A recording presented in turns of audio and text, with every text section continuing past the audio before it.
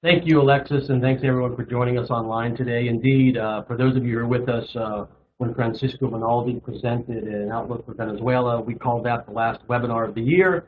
But then uh, just a small event occurred a week ago today on December 11th in Mexico City, and, and we decided and thought it would be appropriate to have actually one more, the last webinar, this case a virtual panel discussion of indeed the shallow water tender and, and, and the many questions and, and comments uh, everyone has about that announcement. Uh, we have, and I really, really appreciate our panelists uh, responding and being so enthusiastic on such short notice to join us today. Uh, as Alexis mentioned, we have Miriam Grunstein, who has literally written the book on uh, petroleum contracts, and look forward to her thoughts. And she's a lawyer uh, with CIDE, but now is non-resident scholar at Mexico Center at Rice University, as well as a consultant for Brilliant Energy Consulting. Antonio Sosa, who I'm sure is a, a well-known name amongst those online, Senior Managing Director at Evercore Partners Mexico. And Evercore is an independent investment banking advisory firm. So again, a very important and unique perspective that Antonio will bring to us today as part of this discussion. And Duncan Wood, uh, the director of the Mexico Institute at the Woodrow Wilson Center in Washington, D.C., but probably best known for his long tenure at ECOM as a professor and a close follower of energy issues in Mexico for many years now.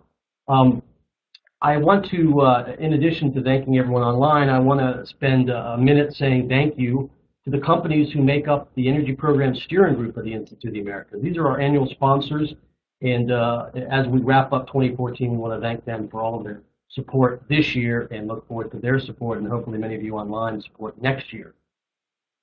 So last week on December 11th, uh, I think the way Secretary Coldwell began his statement was probably the best summary I've ever heard of, of what's gone on in the last 12 months in Mexico.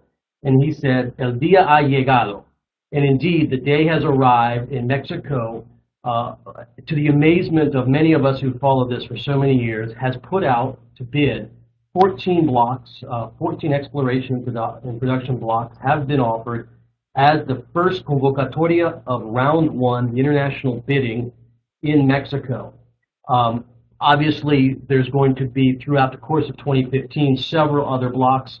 But I think what we've all been, been looking forward to ever since the constitutional amendment and the implementing legislation was approved, we now have, uh, via the government, the formal announcement, the draft contracts, the 14 blocks on tender, and just for background, uh, we put up here on the screen, uh, this is from the announcement last week, just the map and then the, the, the contractual areas, the geological province, and the square kilometers of those blocks. Um, I don't want to get into that per se. I want to just lay that out there as the background because I want to invite our panelists uh, to begin addressing what frankly are, are some of the questions, and we'll get hopefully way beyond this. But as a beginning point, we put together some questions to ask our panelists uh, to begin with their statements.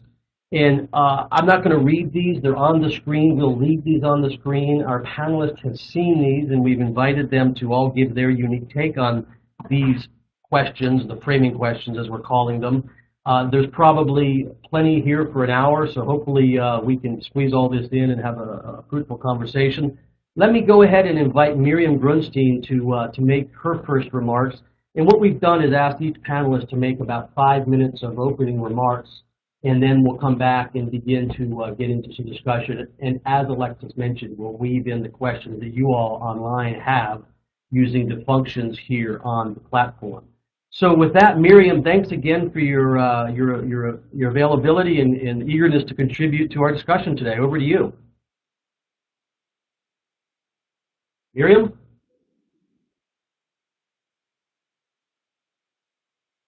All right, is Miriam there?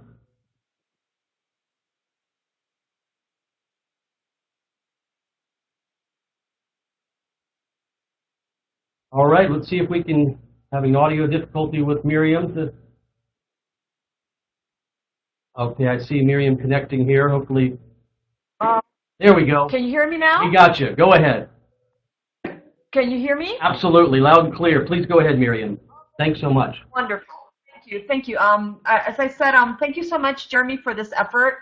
Um, and um, hello, everybody. It's good morning still here from Mexico, and um, this is really exciting. Uh, as, as Jeremy addresses the, the surprise and the unexpected nature of a reform of such broad scope. And indeed, we have our first PSA.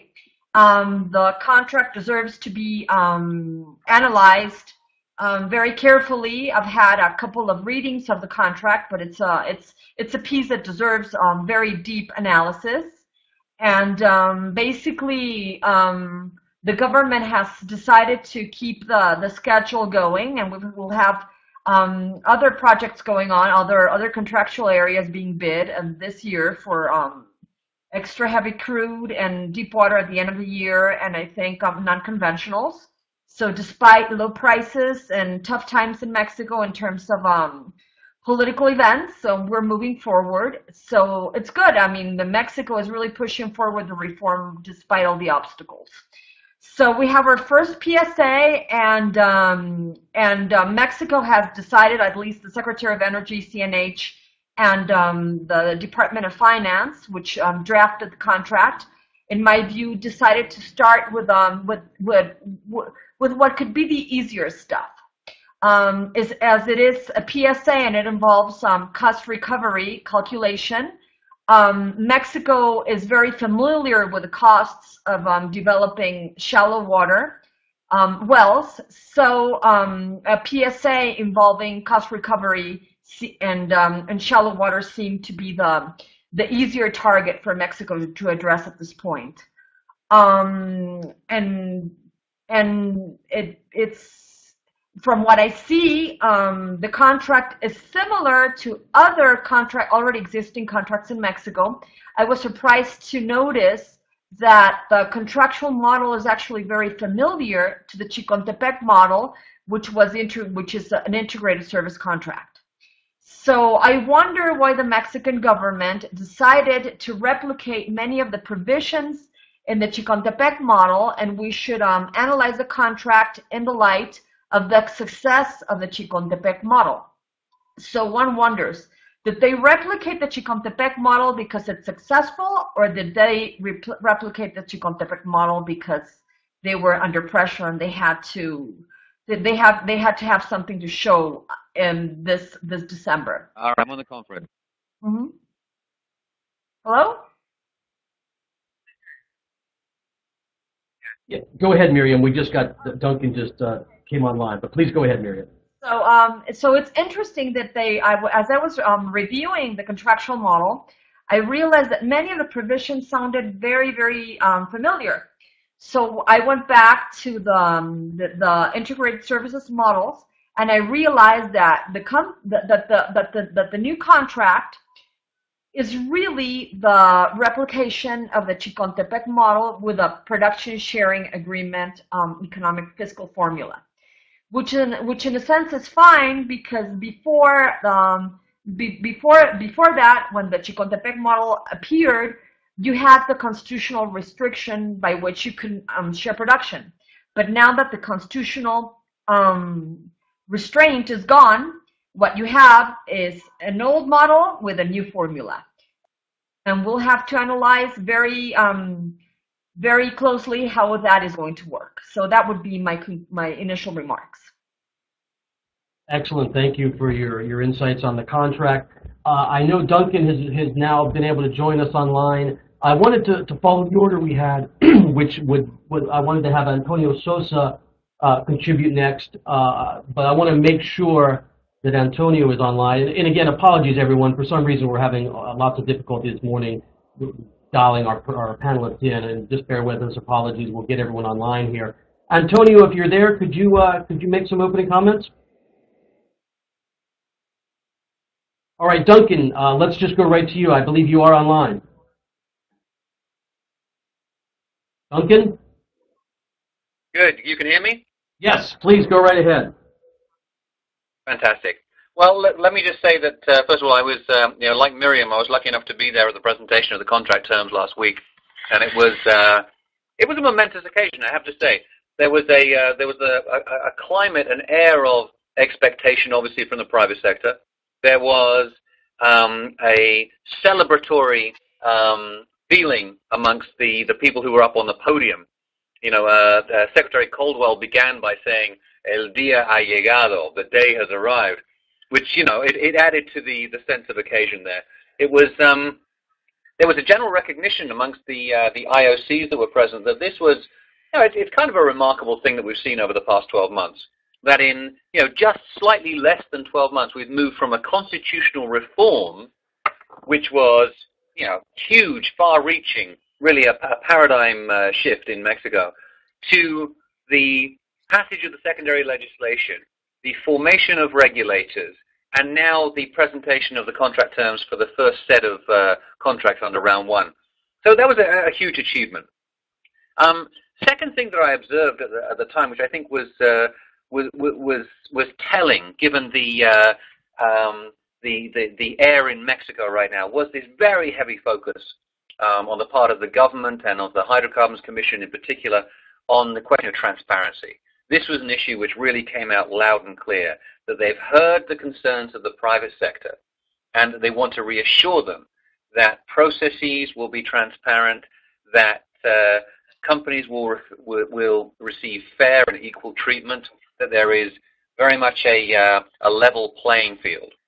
The third thing which I thought was intriguing was that uh, you know, you looked up onto the onto the stage, and you know, in the center you had the representatives of the government and the Hydrocarbons Commission.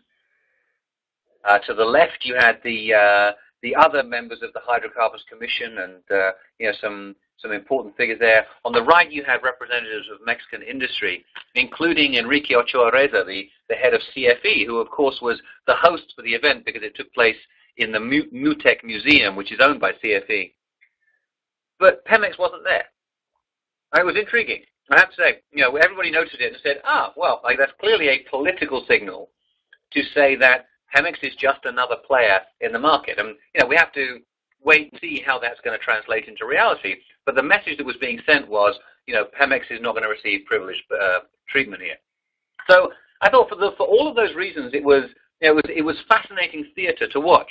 Then afterwards, talking to representatives of, uh, you know, private oil companies, they were enthusiastic about uh, the fact that things have moved ahead so quickly. The production sharing model is something which uh, you know is of some interest to them. It's not obviously as interesting as the uh, uh the the deep water contracts and, and the idea of of licencias that uh, many of them expect will come out in 2015. Um, but there was very much a sense that you know this is uh, a sign that things are progressing well with the uh, with the reforms. Now they understood immediately that the message that was being sent by giving uh, production sharing contracts or presenting production sharing contracts first of all, that that message was a political message. That it would have been unacceptable in Mexico to go straight to the licencias, to the licenses. And so this was a case of you know, the government saying we're not giving up all of the nation's oil immediately.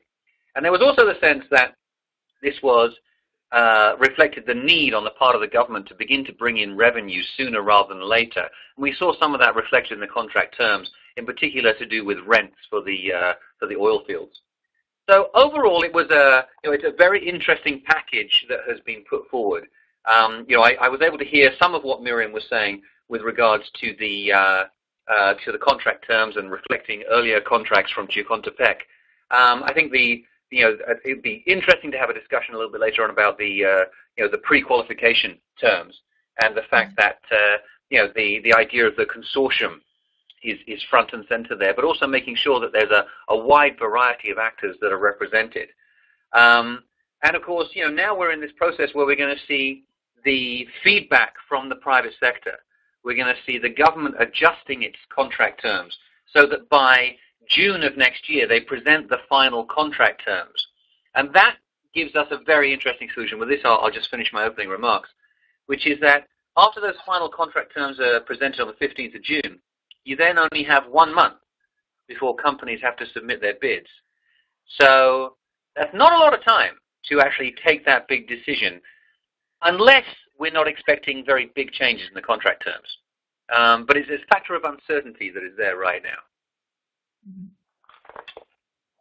Perfect. Thank you. And I, am extremely jealous that you both were there at that uh, amazing day last week. And, and I appreciate that that uh, on the site report, Duncan. Very interesting your comments about who was there, who was not there. Uh, we definitely want to get into the pre-qualification. In fact, uh, that's our third bullet point here on framing questions. Uh, there's a couple other things. I think we've begun to address the first point in terms of political will and, and, how you all rate the efforts. Uh, I think we've been able to get Antonio Sosa online here. Uh, let me try and see. Antonio, can you uh, can you please contribute? can you please make your remarks if you're able? Is he there?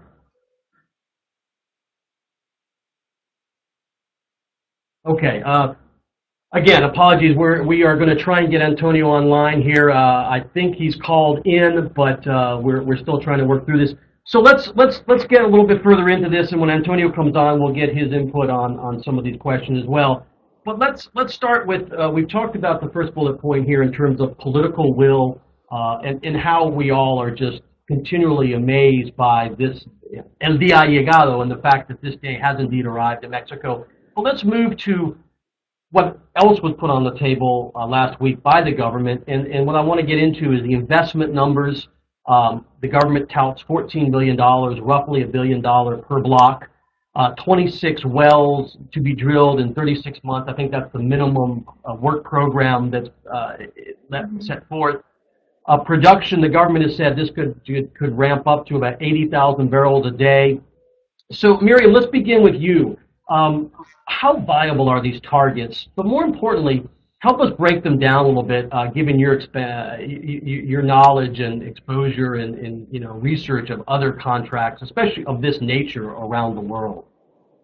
Well, the, the, the, the analysis um, that, um, that the government did was based on the, on the investment rates of Pemex and the investment um, um, rhythm of Pemex in, in, in, within efficiency brackets. What am I, what am I saying? Is, is that they took previous costs of Pemex, and, and because I mean, Pemex has been the national champion in shallow water in Mexico. So what they did is that they did simulations, increasing efficiency in the work programs and investment rates of Pemex, and basically they, they based them on that. Because Mexico has had um, expansive, um, very extensive works in shallow water. And um, they also um, they, they, they also did, did a comparison based on, um, on, on Asian experience of PSAs in shallow waters and they they determined um, the the the rate of 8,000 um, barrels uh, a day, considering um, efficiency rates of Pemex and Asian shallow water projects. That's what I understand. Oh, that's great. Thank you for that. Very insightful. And and Duncan, do you have any uh, any thoughts there on on sort of the viability? Maybe if you have any, you know, what you've been been talking to folks about. Yeah, I mean, one of the things that becomes very clear is that there are there are two factors which are driving um, the interest in Mexico and the enthusiasm for getting involved earlier rather than later. One is that you know you feel as though, uh, or companies feel as though the size of the resource in in the Gulf of Mexico, um, as well as some of the onshore reserves that Mexico has, um, is so large that they have to get involved now so they don't miss out on later rounds. They want to establish a presence earlier rather than later. And this is something which I think is plays to into the to the favor of, of the government. Um, and that's combined with the sense of, look, everybody else is doing it, so why shouldn't we? Um, it, mm-hmm. it, it's extraordinary how often that comes up in conversations, which is that you know everybody is making their move into Mexico right now and understanding that we are taking a calculated risk, of course, there's always that risk element. But the fact is, is that we want to have the presence there because we don't want to miss out on what other companies are clearly doing. And it's not that companies have taken their final decision about Mexico, but a lot of them are actually opening up their offices there and investing already you know, quite heavily in terms of human resources, etc., in, uh, in, Mexico. And that's that, that that's intriguing to see. Now, of course, the factor which plays against it is the is the lower oil price. Um, but I think that a lot of people are, you know, the standard response is, look, we're a long-term business, and so we make our investment decisions not based upon the oil price today, but where we think it's going to average out over 25 years. That's absolutely true. But in terms of having sort of, uh, you know, disposable cash or disposable capital to invest, that's one one factor which does play into it. But I think that you know that it's going to play to the to the favor of the uh, of the oil companies um, in the short term, just because it prevents the uh, the Mexican government from readjusting the uh, the terms to make them any more demanding.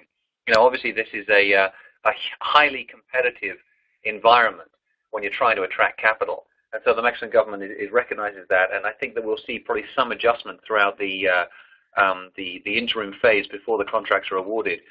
So I think that we, we're likely to see a high level of interest on the part of the, the private sector. And I think that you know, there'll be, uh, there will be an interest in actually getting those projects up and running relatively quickly. I, I think that's a, you make some, some interesting points. I mean, I think, you know, some, some folks could refer to, you know, keeping up with the Joneses kind of uh, scenario. But you know, we had a we had a roundtable discussion the Institute of the Americas did on December 3rd, and unfortunately, it was before the contract, before the Shallow Water tender was announced. But nevertheless, we had an interesting discussion, and one of the panelists uh, from a private firm during our, our one panel uh, likened the situation in the coming months to the iPhone 6. And I thought it was an interesting analogy because the way it was described was there are those who will get in line 24, 48 hours before the iPhone 6 was to come out, and they'll queue up and they'll be the first, you know, to have it that day. And then there's others who wait and see, and then as as Apple makes its debugging and, and, and tweaks here and tweaks there, uh, there those folks will then come and buy the 6S, as it were. And, and so I think it was an interesting way to think about a scenario that could play out in Mexico. I mean, again, like you said, Duncan, anecdotally, uh, the competition seems like it's going to be fierce. Um, let, let's keep going here and, and talk about some of the elements. Speaking of competition, there's been a lot of discussion, and we'll move here to our third bullet, uh, about the pre-qualification requirements. And I really would like uh, both of your thoughts, and hopefully we'll get Antonio on the line here as well, about how the government has set up these pre-qualification requirements. I mean, I think all of us who've been looking at this and talking to each other have been, been, been amazed by various levels of, of restrictions they've put in place. But my question I want to start with is, are these kind of restrictions in line, Miriam, for example, with similar international E&P bid rounds for uh, a, PSA? Um, or could they perhaps be a little bit cumbersome for this shallow water opportunity? So let's, let's start there, and then we can go to whether we think it'll impact it positively or negatively. Go ahead, Miriam. Well, um, it, it is a very interesting question that you asked, Jeremy. Let's um, let's go back a little bit. Um, for for the first time in Mexico, actually, the Federal Antitrust Commission is participating in E&P um, matters because we've broken up the monopoly, and um, competition is certainly a goal of the Mexican government. And the first question to be addressed is how how how much do you want Pemex to be involved in the first um, tender process of Mexico? And if you compare it to um, Norway or Brazil or even Colombia, which were the three models um, that were largely followed um, in the course of the constitutional and um, legal reform, you would say that the Mexican NOC is um, is very is, is comparatively very much restricted if you compare it to Petrobras. Petrobras in the first round ended up with um, partnering or by or or in, or in standalone um, um, as an operator of 80% of the of the Brazilian reserves, which is which is exactly what Mexico is trying to avoid, except, especially in shallow water. As I said, um, Pemex has been notably strong as an operator in shallow water, and they want to give a signal to the market that Mexico is really opening up. So in the course of the reform, this was a big issue.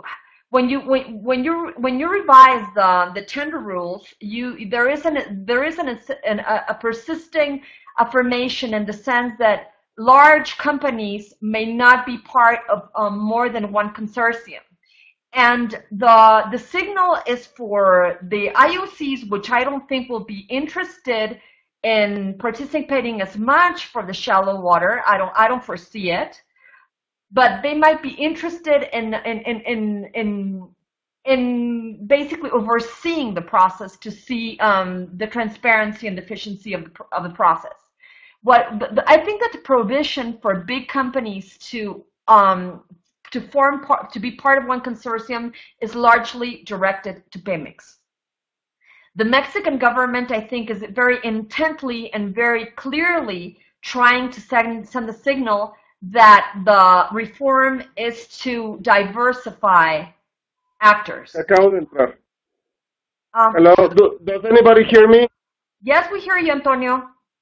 Antonio, welcome, welcome. Thank you. Miriam is uh, is commenting on on, uh, and we'll get to you next. Thank you so much. Sorry for all the trouble. So, um, Go ahead, Miriam. So um, to conclude, to let Antonio speak because he hasn't spoken at all, and I'd, I'd also like to, like to hear him speak, is that um, there was kind of a of a of a stray path from international practice um, concerning developing countries which open to private investment, in the sense that for this first tender, Pemex is knowing is not going to be included in in one in in more than one consortium for one contractual area.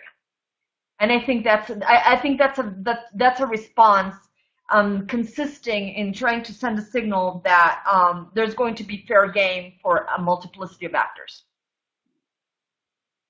That's that's fantastic. Thank you, uh, Antonio. I believe you've been able to listen to our conversation so far, correct? Antonio, are you still there?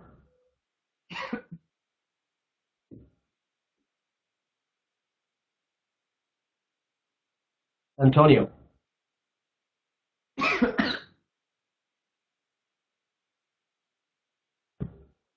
Okay, well, let's, uh, apparently uh, we, we have severe problems with maintaining uh, Antonio's connection. Let's, uh, Duncan, I mean, I, I think we're on this path to discussing the competi- competition issue.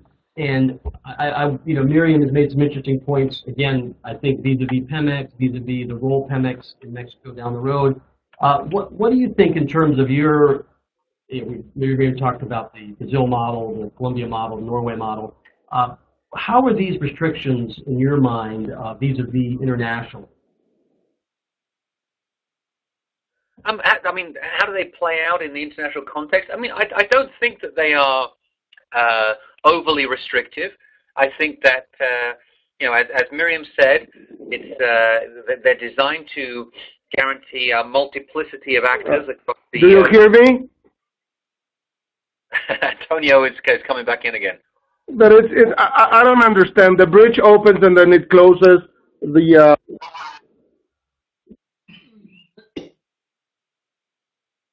uh, I think he's gone again. Yep. Go ahead. Anyway, Antonio's the on again. Yeah, okay. So the multiplicity of actors, I think, is, is one thing. It's also, I think, you know, uh, Miriam's point is very well made about, you know, this is designed to reassure private sector actors that Pemex won't dominate.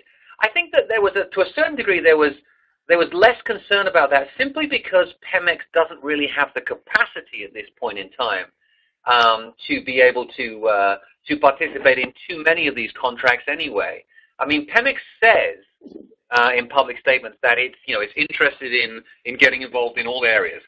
But let's face it, it's uh, it's it's being stretched to the limit already. It has you know it's been awarded 83% of the 2P reserves, 21% of the prospective reserves. Has to act on those within the next five years, and so I think Pemex's capacity is is probably stretched already. But what it does do is it, it shows that I think there's a political message here for, uh, uh, for for Mexico, which is that they do not want to see any one major IOC dominating um, either. I mean, it's, it's not just about Pemex. I think it's about the political message to to the Mexican electorate that this cannot be about giving up, uh, you know, the Mexico's oil wealth to uh, to any one of the big IOCs or the big IOCs in consortium with each other. It's an interesting, I mean, it's an intriguing solution. I think it, uh, as I say, it's not restrictive, and it does help to overcome any fears about, you know, competition uh, policy, monopolies, oligopolies, etc. So I actually saw that in a very, very positive light. And, you know, this is going to be, as, as you suggested, Jeremy, this is something that's going to be evolving over time. This is just the first batch of contracts for round one. We've got to go through the other four sets, and we've got to go through, you know, multiple rounds before we actually see what the uh, the Mexican energy landscape really looks like. Absolutely, but just a, a point of clarification in terms of this first convocatoria, my understanding is that there could be some modifications to the contract during this set period of time, but there will be no modification to the pre-qualification requirements. Is that your understanding, Miriam and Duncan? That is my understanding. That the um, that the that the Q&A is going to be concerning um, the contractual terms, but not for the pre but not the pre-qualification criteria. Now, I have to note something. The pre-qualification pre criteria has already been criticized by the um, by the Mexican private sector, which says that it's highly restrictive for for for possible Mexican players. They have already complained. Yeah. So if the Mexican private sector um, puts enough political pressure, I think that there might be that, that they might work around the consortiums, the the consortia um, guidelines, so that actually Mexican interested that Mexican investors could could potentially participate more. Duncan, any thoughts there? You know, it's, it's one of the concerns that's been uh, been voiced uh, throughout the process is how much uh, uh, influence would the, the Mexican private sector be able to exert in terms of guaranteeing higher national content requirements, in terms of trying to keep uh, you know certain areas uh, reserved for Mexican firms.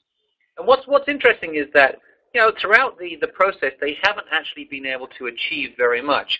I thought um, you know, I have to say, I thought that they would get more in the way of national content um, methodology than they than they did in the end. Um, you know, the fact that uh, you know the, the the the minimum level for these contracts is 25% suggests that you know the the Mexican government has said yes, we want to keep certain benefits for the country, but we also don't want to price ourselves out of the market. Um, mm-hmm. Now, I think uh, you know Mexicans will continue to uh, to to lobby as as all businesses do for their own interest. But whether or not they're going to be able to change this is, uh, you know, I, I doubt because you know the the big money is going to be in terms of what comes in from outside.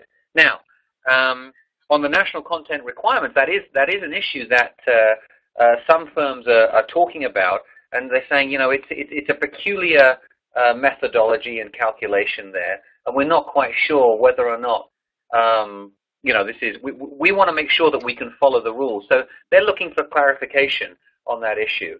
And I think it, it, it, touch, it hits back once again to you know what we all know about the international oil and gas industry is that more than anything they want to have clear, transparent rules that they can follow because the last thing they want is to invest hundreds of millions or billions of dollars and then be told that you've broken the law or you haven't followed the rules, so you're ineligible. I think the the national content question is let's let's wrap up uh, and I and I want to take this opportunity to remind folks that there is a and we'll move to the questions from the folks online here. Um, let, us come back to national content, but let me do a quick reminder, and then I want to wrap up this this this question of whether the uh, restrictions are going to impact or not the bidding. Uh, but quickly, reminder to everyone on your right hand side about halfway on the screen, there is something that says chat, and you'll see a little bubble, you'll see a flag, and then on the right-hand side is a question mark. So that's where we'd like you to put your questions, and I'll drag one onto the screen. That's, uh, that's what we'll do. We'll put the questions there. I'll drag it out, and, and we'll direct them to our panelists. Uh, so if you could avail yourself of that question mark function, the question function there, and I see a question there already. We'll get to that next. Um, and then we will move to the questions. Uh, I do want to ask finally, just to wrap up this, this session on the restrictions, Miriam and Duncan, let's uh, just a short answer. Will the restrictions serve the intended purpose? That is, will they uh, incentivize uh, competition in a more plural uh, set of bidders, um, or will it uh, negatively impact the round? Well, it is yet to be seen um, it is hard to predict because um, we're facing a tough situation in terms of um, institutional credibility and low price.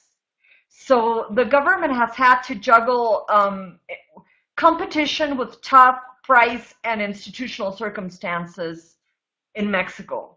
My feeling is that um, uh, the, the, the, the, restrictions might work in terms of um, of bringing forward companies that are more adept to um, develop shallow waters, But but the other but but but on the other hand, it might not um, help to have many players or many hitters for this um, particular particular tender. Yeah, I mean, you know, let's face it, the uh, the international oil business isn't really known for being, you know, an, a, a very competitive industry in the sense of having too many, you know, a lot of big players out there. There's there's a small number of big actors globally, and that's the way it tends to be. We've been through periods of Uh-huh. you know, mergers and acquisitions, fusions between uh, between the big players uh, over the the past few decades. And so I think we can probably expect the same kind of scenario to play out in Mexico. But what we what we can see is that at least in terms of making sure that you know one or two firms don't dominate, the the, the Mexican government has sent the signal that they want to avoid that that scenario, and, and that's a very very important signal to be sending. You know, in and I'm sure that Miriam will. Will, will, will, confirm this, but in the conversations you know, that, that we have with the private sector, it's a lot of them are, are, are first of all impressed by the language that's being used in Mexico and that has been used all the way through. You know, I, I had a funny conversation recently with somebody, and I said, well, you know, they they talk about the fact they want to follow international best practices. He said, look, the mere fact that they're talking about international best practices puts them way ahead of so many other countries around the world who don't recognize how important that is for us to hear. And now the next stage is, well, are you actually going to implement that? And that seems to be happening as well. And so I think that you know you've got a bunch of very smart people who are in charge of the process at the at the higher levels in Mexico, and they've listened to what the international experience is. They've listened to what the concerns of both international and and national private actors are uh, are expressing, and you know it seems to be working out so far in a very positive way. But you know, I mean, it, it's it's easy to get carried away with this. Um, obviously, we always want to be skeptical and uh, and and critical in a constructive way. But so far, so good. No, I, I think. Um, I- I- go ahead, Miriam. Go ahead. I have a concern. Um, I mean, Duncan is, is, is so right when he says that we have very apt, um, hardworking, and intelligent public officers working now on the bid rounds. And um, the Secretaría de Energía, the, the, Dep- the Department of Energy, the CNH, and Hacienda have done a pretty amazing job performing so far. Uh, my concern um, is not with, with this particular tender because, as I said, since they went for shallow water and Mexico is very much aware of the costs for developing shallow water, they're not going to have um, much of a problem choosing an efficient um, company for these fields. My, my, my concern um, is more far reaching, is in the administration of this contract there is a lot of micromanagement from the behalf of the government pursuant to the to the contractual provisions. I mean, the the CNH is is is pretty much um, is very demanding from the outset of the development program, the work program. The um, Hacienda is also very um, it, it does a great deal of micromanagement in, in terms of audit, auditing the costs. So my, my concern is not now. I think they'll do fine with this first um, tender process. I think they have the institutional capacity to do it now. But my concern is after you have um, these eight contractual area awarded, and hopefully you'll have hundreds and maybe thousands. How is CNH going to do to administer all those contracts and all that information? I think that's I, I think that's that's a material question at this point. Absolutely, yeah. And, and, and for anyone who was here in La Jolla last year, we had a, a nighttime session that ended up focusing pretty much exclusively on the human capital, the human resource question. So thanks for that. Uh, let's let's get some of these. I'm receiving a lot of questions from folks here. Let's just jump right to them. Um, there's one here, Miriam. Maybe you can grab, uh, take a shot at this. Uh, it has to do with booking reserves. If IOCs can't book reserves, how interested are they? Well, um, they've been from what I've talked to IOCs, they've been ambiguous. Actually, the, they they can book the expected um, uh, cash flows from the projects, but they cannot um, book is the actual reserves. Yes. Um, some IOCs whose um, names I cannot quote are fine with that. They are ex- they're they are fine with um, booking expected cash flows. Others are more skeptical. I think that if they have a, a, a, an attractive enough economic uh, formula, especially for deep water, that they'll come. If they have a high enough rate of return, I think that booking um, cash flows will not be a material decisions for them to come. Excellent. Let's, uh, there's another specific question about um, consortia, and we've been talking about this. Uh, and I think, Duncan, you mentioned, or, well, we talked about the issue of risk and what that means. Uh, and the, the, question here focuses on that. Um, and specifically, as we look forward to deep water, what is the thinking on whether this one consortium will apply to deep water? And I don't know, um, Duncan, why don't you start, and then we'll have Miriam chime in as well here. Well, yeah, I mean, obviously there there, there will be concerns about that, but uh, again, I think it comes down to the fact that this will apply in you know any one round of bidding. That's the important thing is that, you know, if you, you know, so it depends how many blocks are released in each round. What you don't want to have is you don't want to have one company, you know, seizing all of the, uh, the, the assets in one round because that makes it look like it's a skewed process. Um, and so, know, I think what we're, what, what we're likely to see is that these pre-qualification rules will hold, but they, they shouldn't be a too big a deterrent um, as long as you're not giving, you know, you're not offering all of the uh, the available resources um, at, one, at, one time. And of course, this is a this is a long-term game. I mean, this is something which is going to go on for, you know, for, hopefully for 20, 30 years. So we, we should expect this to uh, to play out as, as as it goes along. Miriam, would you like to add anything? Um, I think the the consortium requirement will be um, will be modified for deep water. I think that that the government is conscious that you you need very specialized companies to actually operate in deep water, and what what, what international practice is seeing that maybe smaller companies um, can basically attach to majors in other fields uh, for, for for for separate for, for separate projects in, in deep water. But, but the truth of the matter is that um, IOCs do not invest in um, specific contractual areas. They, they, they, they invest in countries.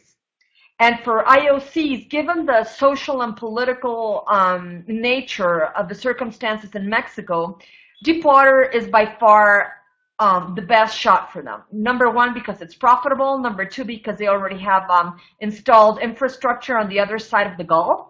And number three is because they're not going to be in contact with um, social and political explosiveness that can be um, a problem in onshore pro in, our, in onshore projects. And given the fact that you don't have that many companies which can operate efficiently in um, deep water projects um, in the Gulf, I think that the that the requirement is going to be modified for deep water. And I think as we've all been talking about, obviously, beginning with the shallow water and beginning with these, that's sort of what they know. I mean, uh, I think it's allows them to, uh, to take the opposite of leading with the chin if they were to start on deep water, which although it's the, the large uh, crown jewel, if you will, it's still probably exactly, and it's and it, and it, and it gives them more time to be more um, reflexive on the contractual model because as I said in the beginning, I was really surprised to see that the Chicontepec model had um, been replicated almost word by word. Some of the some of the wording of the Chicontepec model is actually quite commercial, with the with, with the exception of the economic formula, which has been substantially modified. Um, as now we have a true and honest PSA. Before that, we had um, a fee per barrel um, no so not so commercially attractive um, formula. But I think that they start also with they. I think the the the, the social um, aspect has to be emphasized in that if you work offshore, you're um, number one far away from the social conflict that may arise working onshore. And right now, Mexico is, a, is under a very delicate situation concerning um, contact with, uh, with, with indigenous communities. So um, launching the tender processes with um, onshore development would have been a big mistake, precisely at this point. People, I mean, companies want to be as far away from interacting directly with the communities as far as possible. Yeah. So I think that was a Sure, very me- wise, um, very wise choice. Okay, go ahead. Yeah, no, just I mean, Miriam makes a very, very good point. Um, un- unfortunately, of course, you know, even if you're operating offshore, there's a certain part of your operations that happen onshore, and this is one of the issues that keeps coming up in conversations, which is it's not about obviously about you know relations with with local communities, indigenous peoples, but questions of uh, of property rights, questions of the rule of law, questions of due process, um, of the justice system in Mexico. Those are actually far more pressing right now, um, I think, for a lot of the foreign companies than concerns over violence or public security, which is you know what makes all the headlines with, with- in, in Mexico. But the recent, um, you know, the recent corruption scandals in Mexico, um, the recent, uh, you know, uh, the cases of, you know, are contracts going to be respected? You know, I'm thinking about Grupo Higa, obviously. Those are things which, which ring you know, warning bells. They, they raise the alarm for, for investors in general. And of course, you know, oil companies are no different. And so what they're looking at in Mexico is they, they want to see that they're, they really are going to be reassured that processes will be followed in the correct way, that there is legal certainty, that if there is any kind of dispute, that Mexican courts work. So what they're looking for is they want to see a commitment on the part of the government right now to say, look, we know that we've got problems, but that we're going to we're going to make it better. And you know, it's uh, whether it's to do with public security or whether it's to do with uh, sort of local authorities, um, or whether it's to with uh, you know overall transparency. I think there's still a- obviously well, we all know there's a lot of work to be done in Mexico, and what we're what we're all looking for is signs that progress is being made at this point in time. Well, you know, now that you mentioned transparency, Duncan, which is a very which is a very important point, um, the, the there was a great deal of emphasis on the transparency issues when the when the when, when the contract was launched, and that um, fortunately you and I were there when they made the announcement. And all throughout the, the event, there was a lot of emphasis made on the transparency of the process. Right. And uh, I think um, civil society um, can play an important role in um, keeping abreast of how the tender process is performed. Because a very positive um, side of this is that CNH is very open to listening to the criticisms made by NGOs from academic organizations, even from other companies related to the, the way the, the, the processes are performed they're they're they're very open to listening to um, to criticisms, to ideas that may enrich transparency and the rule of law in the process. There's no doubt that the, the emphasis on the word transparency and, and some of the restrictions uh, that, that the various agencies are dealing with uh, is, is quite uh, important. Duncan, I think you want to say something real quick, and then let's try. I want to try and go on to a couple other questions here. If we could. Sure, but just, just to affirm what uh, what Miriam said, I mean the fact that uh, CFE on the electricity side, you know, is working so closely with Transparencia Mexicana, I mean that that's a very important uh, signal to send, and it's uh, it's it's a very good practice because it shows that you're not afraid of civil society. It shows that you're willing to have sort of an outside authority verifying your processes, and that's something which I think that you know the the government uh, and and Pemex should be looking at more closely. Uh, yeah, and also the the the fact that um, the, the interesting issue here, and, and you're absolutely right. Um, CFE has has gained the trust of, uh, of private investment throughout their um, tender processes. But now the, the the issue here is that it's not going to be Pemex performing the the the bid rounds, which is um which is the tender process. I'm sorry, which is which is a huge, huge difference. It's going to be CNH. So an independent um, body from from from actually the central government is going to be performing the tender processes, and I think that's a huge step from previous um, energy-related processes that were performed by by by Pemex or by CFE. No, absolutely. I mean, I think the, the change in, in statute for uh, for CNH, but also the creation of ASEA, as it's now known, for the, the protection of the environment. Uh, let's. I put a question up on the screen. There's several questions I've received, and, and a lot of them can be sort of bundled into the the framework of how can we or or what do we see in terms of extrapolation from this tender opportunity and what it may reveal for future opportunities. We started talking a little bit about deep water. Question on the screen is specifically uh, with regards to um, onshore shale plays. And then this Right. brings in something we also probably should, should talk about more directly. We talked tangentially about the price of oil. But let's talk about the price of oil, but let's also extrapolate a little bit from this contract, from this tender, to what it means for, in this case, shale. Miriam? Um, Duncan? Miriam, Miriam, you want Duncan to go first? No, no, no. I didn't know you were asking me. I'm sorry. Yeah, yeah, go ahead, go ahead. You know, the, the, the price of oil will be will affect dry gas, and because dry gas is heavily dependent on um, on the extraction of dry gas is, is, is, is heavily dependent on, on, on the price of gas itself. Because as we know, um, shale gas is heavily subsidized by liquids or by shale oil. But what's more of a concern for the shale plays in Mexico is number one is the lack of existing infrastructure. We have um, no pipelines, no collecting, um, no collecting infrastructure for, for gas, and um, and we have to guarantee that the existing infrastructure infrastructure that is um, that is owned by Pemex will be effectively be an open access will be the, the, the, the, the there will be an effective open access policy for the exis- existing infrastructure. So number one, we're lacking infrastructure, and the second part of it is that the existing ex- infrastructure um, still has to undergo a very effective open access policy. Otherwise, people are not going to be able to do anything with their gas because we have no pipelines. Number two, property rights are fundamental.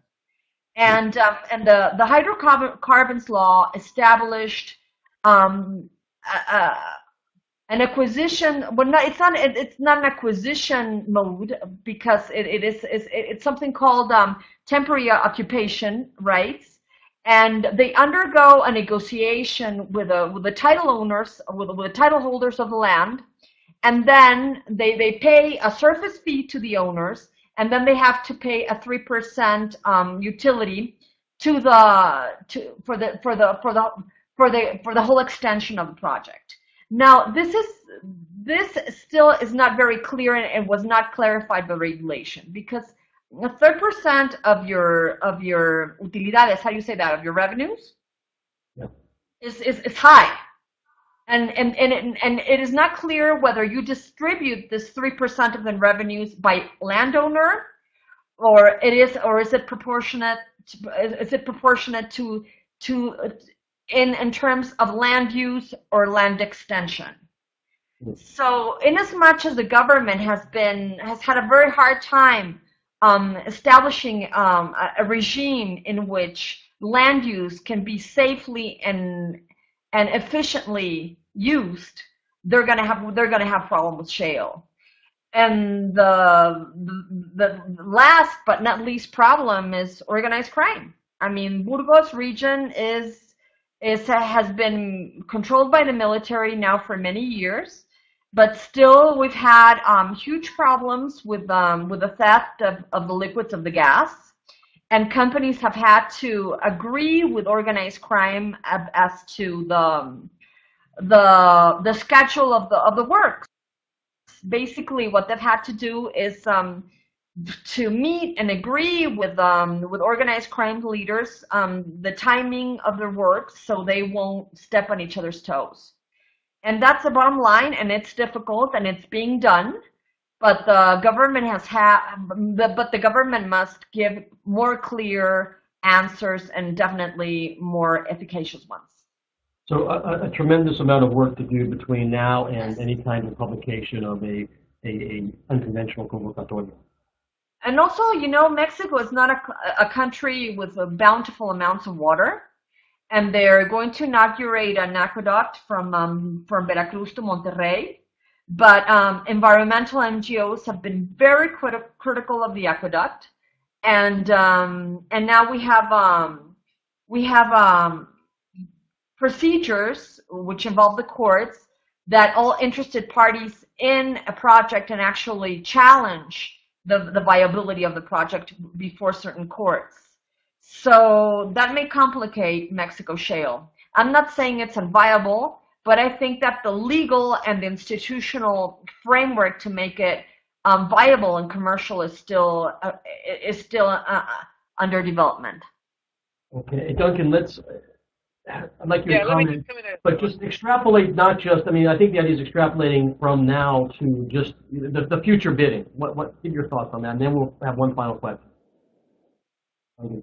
Yeah, okay. So, for, I mean, you know, in terms of shale, it, it's telling that the government, of course, only released eight blocks in, in, in shale. It's also telling that those blocks are right up by the U.S. border.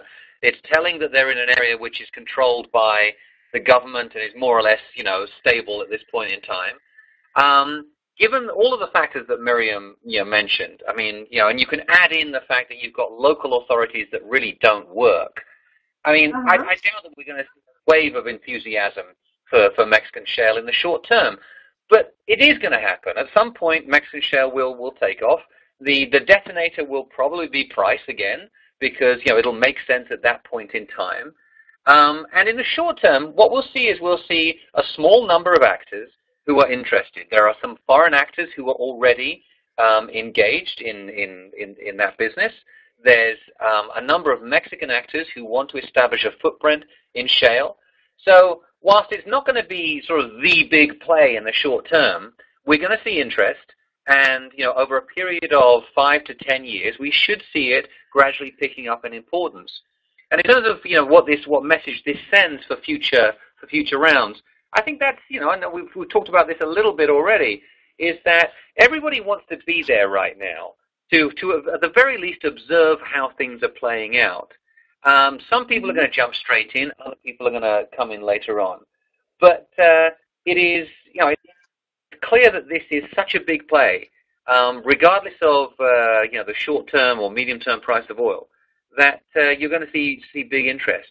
And the, uh, you know what we're observing in the United States right now is that you know despite the low price of oil, um, you know what we're seeing is this is a force for innovation in the shale business you know, a lot of companies are saying, well, if this is how the price of oil is going to be, we've got to produce oil even cheaper. So they're dedicating resources to try to solve some of the problems that they have already. In, in the case of water, for example, you know, there's constant innovation in this to, to reduce or even eliminate the use of water. You know, there, there are companies out there that claim to have waterless fracking, you know, processes already perfected. So this is going to be, you know, a, a big driver. Um, you know, the, the price will be a big driver both in terms of innovation and in terms of finally sparking big interest in Mexican shale. Well, thank you. No, I, I, let, let's. Uh, I pr- appreciate those uh, those remarks. Let me. Uh, we've we've talked about this, but let's end with some uh, uh, discussion of the pre-qualifications. Um, but specifically, again, I mean, we keep using a, a crystal ball approach here and saying, what does this 14 block tender tell us about, you know, all the other blocks to be on offer next year? Uh, and this question is specifically about the, the financial pre-qualification elements. And so, Miriam, if you could quickly start, and then this will have to be our last question. Um, talk about what you foresee the financial requirements, or I should say the pre-qualification requirements financially for the future bidding. Well, for mature onshore fields, I think the pre-qualification um, um, requirement will be reduced. For unconventional fields in Chicontepec, it depends on the field. For example, there are, Chicontepec is gigantic. It's Puebla, it's Veracruz, it's part of Tamaulipas. And some parts of Chicontepec are very much lacking in infrastructure and are and are and are technically more challenged. For those areas, I don't think that the that the financial requirement will be reduced because we want we want to be, have big players because those those areas in Chicontepec are are tough and have suffered ex exactly because of that. Because I mean, people have have have have, have they haven't underinvestment. They haven't underinvested, but they haven't invested in the right way in Chicontepec. For mature onshore fields, what I understand is that um, the, the the Mexican private um, sector has already um, voiced significant interest in that they could be the national players for mature onshore fields. So certainly to keep the, the, the Mexican private sector happy, they'll I think they'll they'll they'll they'll, they'll lower the financial requirements for the type for those type of fields. And actually, Coparmex made a public um, presentation and um, in some public fora. So I'm not um, I'm not betraying everybody anybody's trust in the in the sense that they presented the Secretary of Energy with um with a with a with a significant list of um, onshore fields um, that they'd like to uh, operate in the future. Thank you, Miriam, so much. Duncan, I will give you the final word as we wrap up our panel here this morning, but let me first apologize uh, to everyone. Uh, we, for some reason, were not able to ever resolve the technical issue to be able to bring Antonio Sosa online. I apologize to Antonio personally and to everyone who's expecting to hear his insights. But with that, Duncan, your wonderful insights uh, will wrap us up here today. a lot of pressure, Jeremy. Um, just, I mean, uh, Stephen Gerrard from Outside the Box. um, no, I mean, I think that uh, you know the message was was quite clear uh, in this uh, the first batch of, uh, of, of contract terms is that you know firms need to have experience in uh, uh, in, in in operating in the oil and gas sector, or at least you know the the lead firm in any consortium has to have that experience. And that's a very, very important message to send, which is that we want players who are going to come in, who are going to do it right, and who are going to make a success out of it. We don't want companies who are going to come in, who are going to bid, who are going to win the, the contracts, and then not be able to fulfill. The key element here, I think, is that the, the Mexican government wants there to be a, uh, a flow of fiscal revenue and of oil barrels from this first round of contracts sooner rather than later. And that's especially important given you know, low economic growth in Mexico, given the low oil price, and uh, given the fact that, you know, I mean, at the moment there's a certain degree of, of, of economic instability in Mexico because of the, uh, you know, the, the peso has been has been sliding. You know, on a, on a side note, the uh, the slide of the peso actually helps Mexico a little bit, which is that you know operational costs in Mexico will go down a little bit, um, and also, any every dollar that comes in from oil revenue is worth more than it was a few weeks ago. But that's not really something you want to, you know, peg your economic future to, um, uh, you know, a weak currency. And so I think that, uh, you know, this is, these terms are are there to to try to get the right kind of actors in, to try to ensure that there is diversity there, um, but also to open up the possibility for Mexican firms to be part of it. You know, Miriam's point about the future um, future contracts for, uh, for, for onshore mature fields.